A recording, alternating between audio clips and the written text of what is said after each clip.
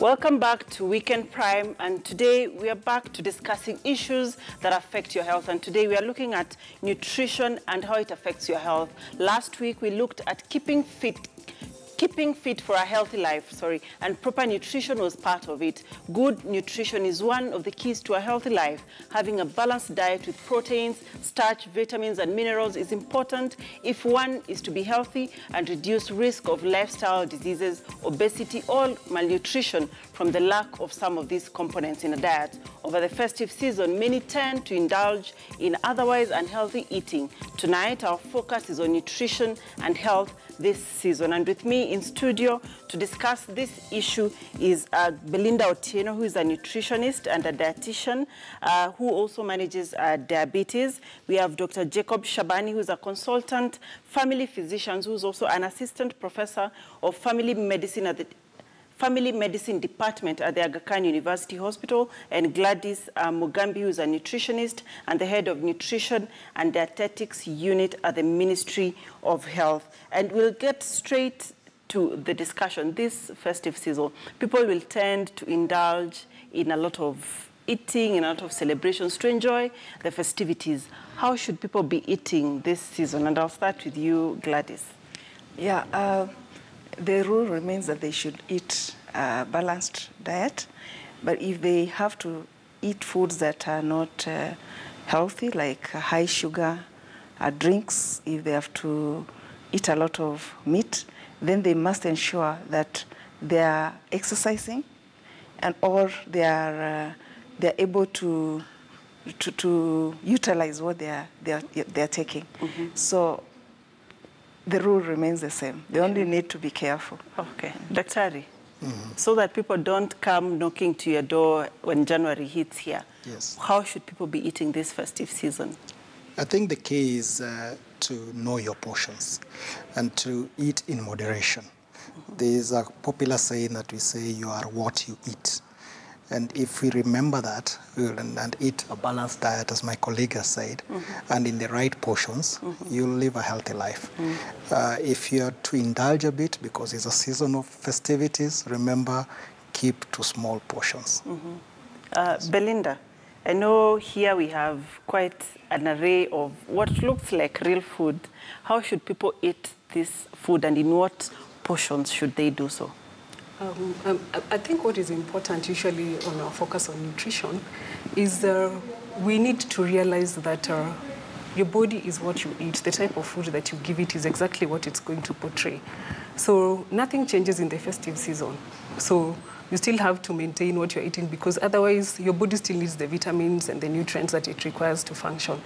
And um, uh, what is important for us usually is uh, as much as we want to indulge, and that is something very common that I'm getting right now um, at, at the clinics. Everybody's like, I'm not coming to see you because it's a festive season and I'll see you in January. Let's not forget it's such a short period, eh? and whatever you are going to indulge in might even cost you more. Because one of the things will be, we, if we had started a program then we will have lagged behind because of the two weeks, and then we are starting again. And remember, it's our eating habits that are our eating habits and our choices that we are making. So what is important is the choices have to come first, meaning the balanced diet will still remain. You still take in your carbohydrates, which, are, which gives you energy. You'll still take in your proteins, which are your bodybuilding foods. You'll still take in your vegetables and your fruits. That is what builds your immunity. So nothing changes. Your water will come in, the amount of fats that you need to take. Everything has to be in portions. And you have to have at the back of your mind, and it's very important that you must practice mindful eating. Mm-hmm. Okay. And from what is on display here, could you just take us through, uh, because some of this, what is commonly found in homes and what people are likely to eat. How should they eat these foods? Um, first, what I'd like to point is uh, it's very important for us as a nation and even from our homes. Eh? And Gladys will agree with me. We are out as nutrition trying to encourage people to cook more at home. And because what uh, you have actually cooked, you know exactly what you put in your food, how it was prepared, how fresh it was.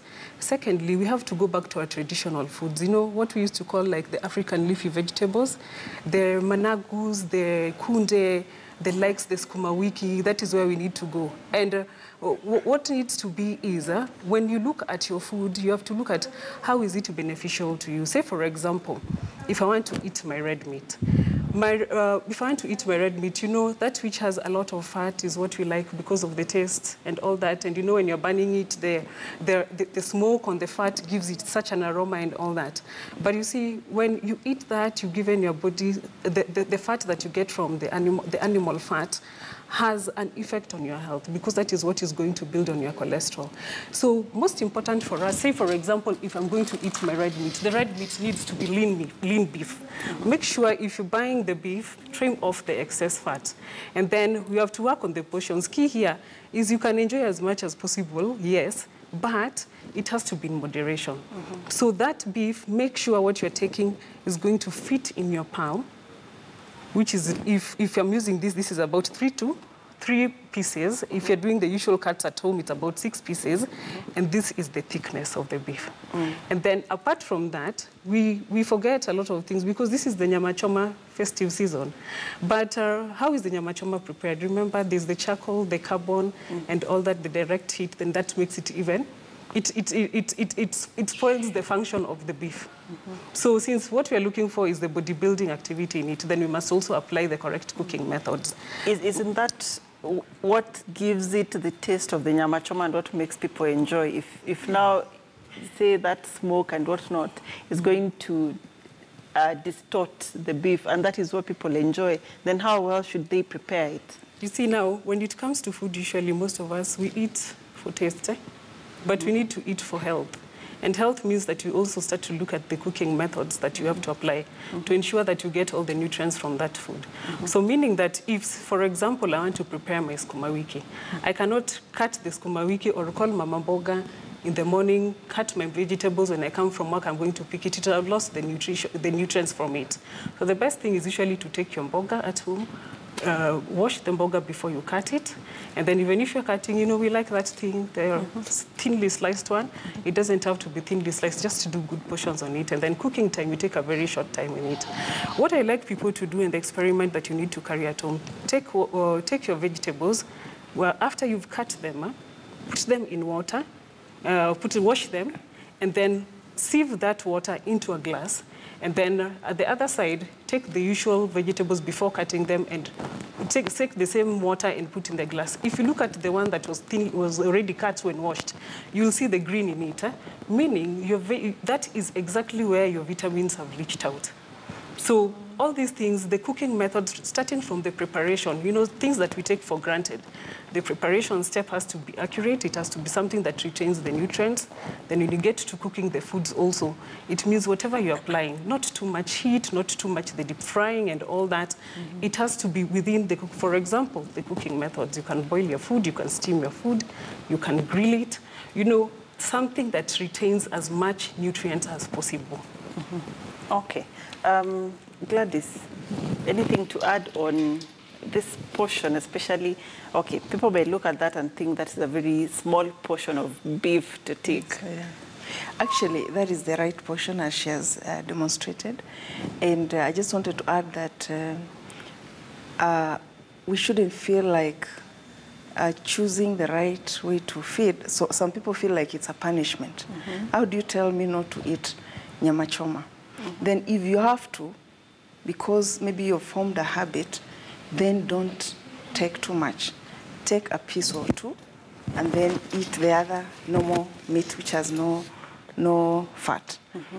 And then the methods of cooking, as she has said, are affecting the nutrients that uh, you require. Mm-hmm. So I would like to add that the issue of portioning mm-hmm.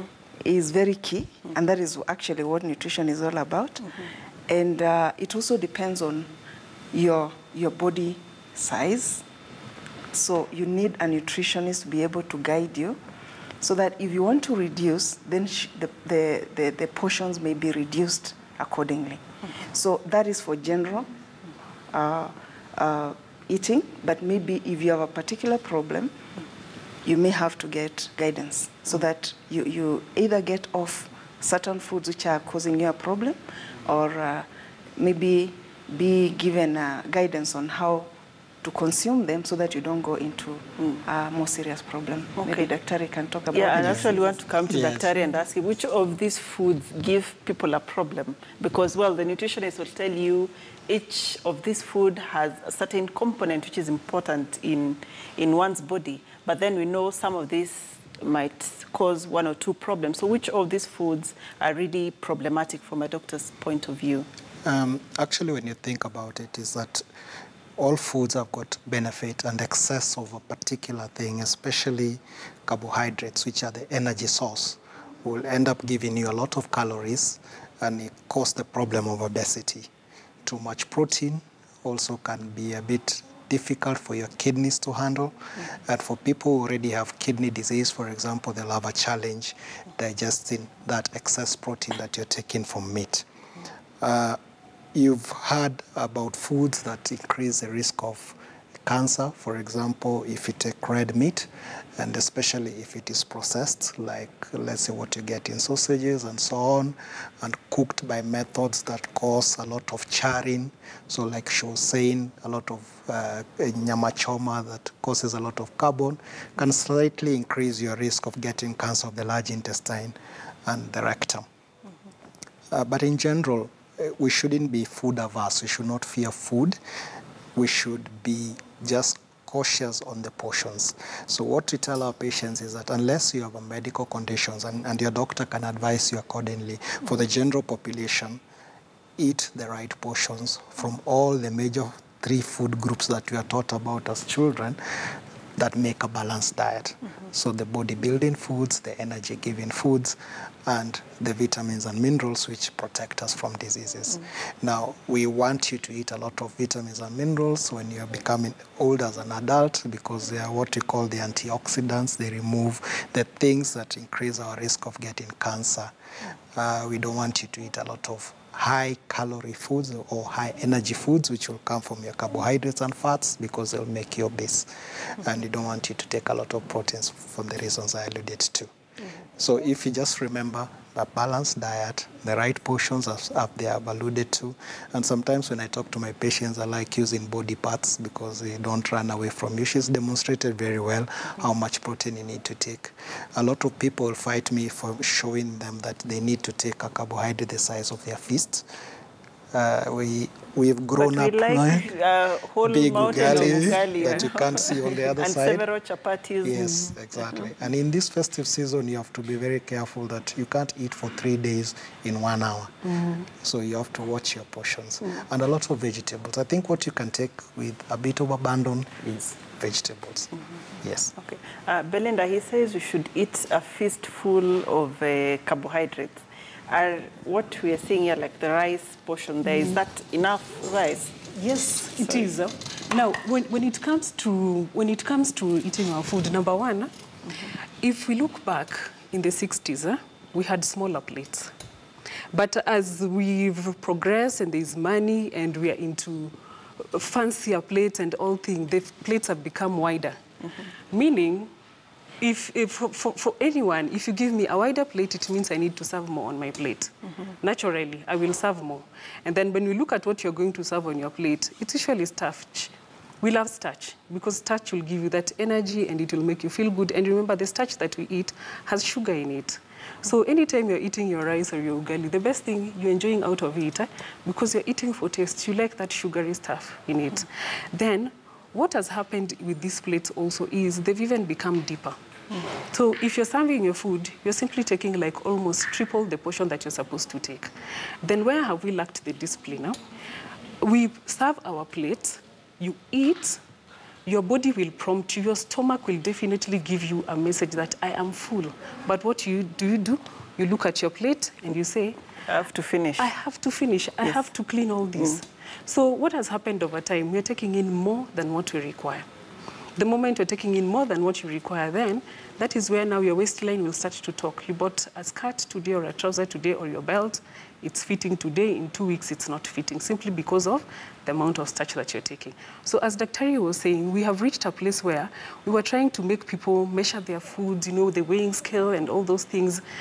It can work, yes, but it needs the discipline. And it's also cumbersome for the patient. So what we've figured out, we actually have to teach you using your body parts, which is mm-hmm. easier. Mm-hmm. So if I want you to eat your starch, the size of your fist, this is mm. your fist. Mm-hmm. This is the portion of your of your carbohydrate, meaning on your plate, we are going to divide the plate into half. Now, we only use the inner part of the plate.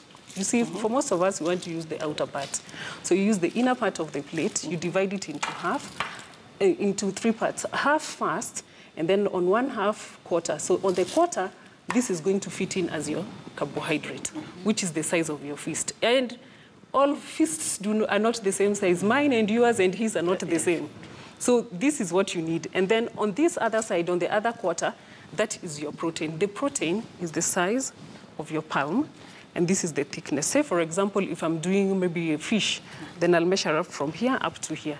And remember, all, all, all these, you have to figure out, and, and, and I want people to try it because it means you have to try something first to see that it's work. It works. And, uh, and the other thing is we're also trying to encourage people to start getting signals from your stomach to your brain. There's communication. So you'll have your meat there. And then on this other portion, I want you to serve as much vegetable as possible. So, as, uh, so instead of the fruits and all that, because people say, can I do fruits instead? No, it's not fruits. It's not fruits. You do the vegetables. So half of the plate is going to be your vegetables. Out of this, what we have done is we are increasing your fiber intake. We have issues of constipation, and in most cases, when we ask people, so what does your meal constitute of? I do meat or it's beans and, and, and the rice. So where, does, where do you get your stool bulk? Your stool bulk is supposed to come from your vegetable intake. So we increase that, the vegetable will be there, and look at the cooking methods. I keep insisting the cooking methods have to be right. We have, um, we have a culture where we want to eat the vegetable for taste. So what do we do? You cook your, uh, your traditional vegetables, your managu, then you get cream, you pour into it. You get milk, you pour into it. You're giving it the taste, but you've killed the value. There's nothing, there's nothing left in it other than the taste. So the best thing is have it in its natural state, and then you'll also have your portions for your fruits. You can also have your fruit much later. You can drink your milk, you can have your water and all that. But the whole thing is, with the right portions, it means that there's nothing you're taking in excess, and your body will only take what it requires. What people need to understand is if you do anything in excess, your body prompts itself picking what it requires. What is not required is converted into fat. And that is the fat that we talk about around your waistline. When people talk about the tears and all those things, that is just an indication of how much you're eating, how much excess that you're taking in over time. Okay. And I know one, one of the foods, and you have it here, uh, that children very much enjoy is fries and, and chips. Should they eat them? Now, you know, from this portion alone, or what we usually buy, say for around 70, 80 shillings, eh, the amount of fat that was used to prepare the fries is an equivalent of between 250 ml to 500 ml, depending on the type of fat, fat or oil that you use. Meaning, whatever you have taken in, you have not even taken in the potatoes because it's, it's pointless. There's no energy in it. Whatever was, was to be used as the nutrient is gone. So, because of the heat, number one, that is subjected to it, and then the amount of fat that is also there. Now, with all these things, uh, there are, we, we have so many gadgets that have come out in the market. Say, for example, we have an air fryer. Mm-hmm. What I like about the air fryer, we will still enjoy your fries, but you'll only be using one tablespoon of oil. Mm-hmm. So for us to change in our homes, because our children will always love the fries. And then, uh, say, for example, for you here, when you live, there's between this stretch of Mombasa Road, I think mm-hmm. there's so many There are at eateries. least five There are five. And what happens with the eateries? The frying, it's about the frying. And that, the frying, that aroma will call you from so far and you know you have to get there. But we have to look at it like this. What is this that I'm eating out there that is affecting my health? And then we as the parents, because we tend to, uh, to, to, to, to love our children and they want to eat the fries and it's a Sunday and it's all that, what do we do? We go and buy the fries. So it becomes a norm. What, what will the baby eat? The baby loves fries. So we are giving more fries and more fries. Then we're asking ourselves, how comes my child is an obese? And Daktari will tell you, we are having a very big challenge right now. Children under the age of 12, are, they're weighing more than their parents. You know, a child weighing up to, uh, uh, you find a child who is seven years weighing 63 kilos. That one cannot, it's, it's, it's, it's even harder for us to try and make the child lose weight because we cannot subject the child to vigorous activity to lose the weight because of the growth spurt. So we as parents, we need to look at, it is fries, yes, I'm giving. You will give, but in moderation. And it's not an everyday thing. I know it is a shortcut for most people for their children to eat. It cannot be a shortcut. The children have to be taught what to eat right from the time we start the complementary feeding.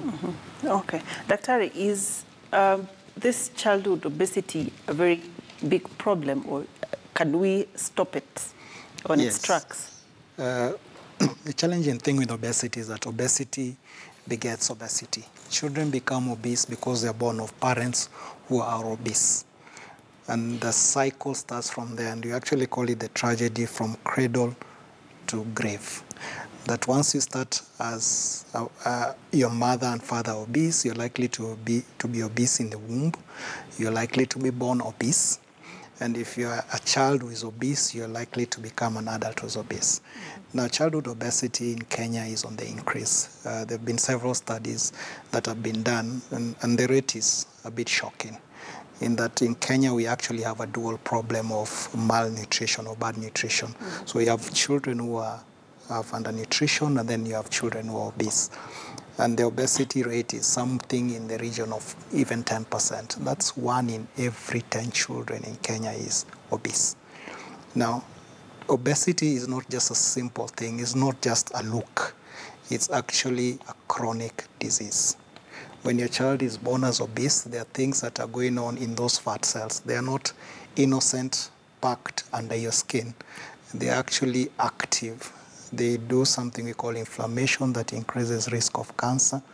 In children who are obese, they already have certain problems. They get into premature puberty. They get problems of infertility when they grow up to be adults. They get an increased risk of diabetes, increased risk of high cholesterol, increased risk of even stroke, problems with their joints, so they get arthritis early, uh, and uh, their self-esteem is uh, uh, greatly disturbed. They get more depression because they're teased in school and so on. They can't participate in sport. They are more problems of asthma. So when you look at obesity, it's, it's, it's like the disease that joins everything else. And you're actually setting up your child to more problems in future. So when they become adults with obesity, the increased risk of diabetes is still there. Uh, they actually get Alzheimer's early. And the sad thing is that obesity by itself is now recognized as a risk for cancer. It causes cancer in uh, like breast cancer in women who've reached menopause. It causes uh, cancer of the pancreas. It causes cancer of the gallbladder. It's associated with cancer of the prostate in men. So it's not as innocent as it used to be thought of.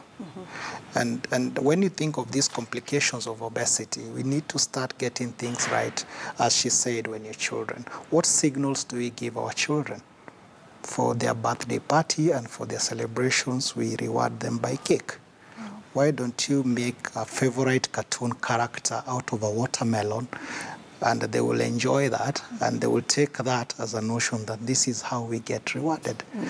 Don't reward them that every Sunday we have to take you out for the favorite, and now there are very many. It's mm-hmm. like a mm-hmm. competition. There's KFC. I understand McDonald's is soon uh, going to be here, and Burger King, and so on. These fast foods places should not be the reward system that you give our children. Okay. Maybe even as policy in, hmm. in, in tuck shops in schools, we should not have snacks that are not healthy. And maybe pack healthy snacks for children. But children imitate what we do. Hmm. So as adults, if we eat wrongly, they will learn from us. Hmm. And if they get the notion that vegetables, and I think this is a challenge I put across to men because sometimes when men we get to the house, if vegetables is cooked, it's eh, ni chakula ya sungura, I don't eat this. And if, if they keep learning out from you that vegetables are bad, they will not take them. Okay. Uh, you've really painted uh, a picture about obesity and all the complications. Yes. And I would want uh, Gladys to comment on that and tell us what, as a country, we are doing about this. After this short break, when we come back, Gladys, you, you'll be able to tell us what we are doing about uh, these issues of nutrition. So we'll take a short break, and when we come back, we'll pick it up from there.